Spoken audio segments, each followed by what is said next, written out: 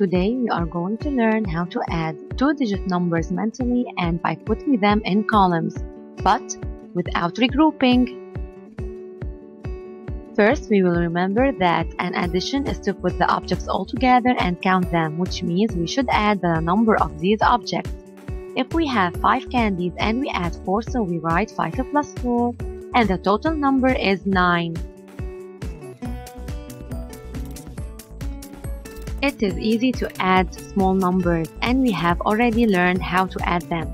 But how can we add big numbers? We should find a method.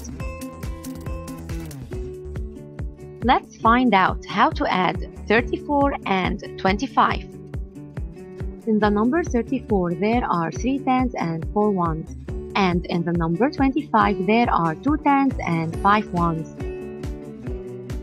To calculate mentally, it is enough to put the ones together and add them. Then put the tens together and add them.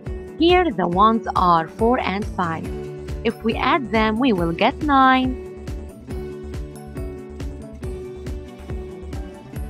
Now let's add the tens. Here we have 3 tens and 2 tens. If we add them, we will get 5 tens. So we have 5 tens and 9 ones which represent the number 59. Also, there is another method to add these two numbers, which is putting the numbers in columns. This is the place value chart column. It is made up of two columns, the ones place column and the tens place column.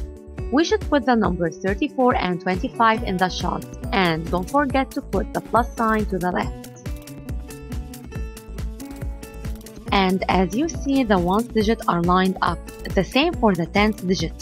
And if you have a paper that has squares I advise you to write each number in a square.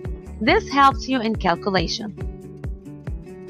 After we place the numbers correctly we can start adding them. We always start to add the numbers in the ones place column. We have 4 and 5 4 plus 5 equals 9 now we will add the tens together 3 plus 2 equals 5, so 34 plus 25 equals 59. Pay attention, if you didn't put the ones below each other and also the tens, your answer will be wrong. So we will repeat. To add two numbers by putting them in columns, we must write the ones below each other, and the same for the tens. And we start to add the numbers in the ones place. Then we add the tens.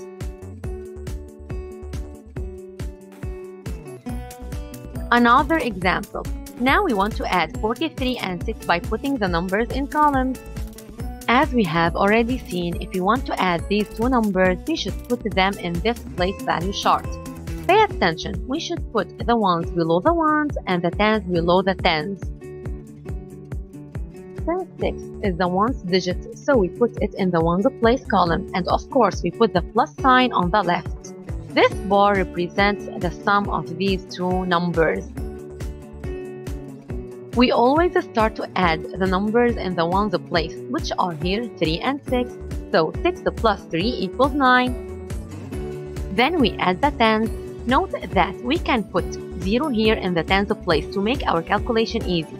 4 plus 0 equals 4. So the result is 49. 43 plus 6 equals 49.